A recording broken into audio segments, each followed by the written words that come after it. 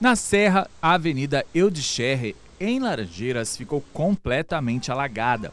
A cena se repetiu em Colina de Laranjeiras. Em José de Anchieta, as águas invadiram a unidade de saúde do bairro, situação parecida com o que foi registrado na rua em frente ao local. Na Avenida Maruípe, em Vitória, há diversos pontos de alagamento.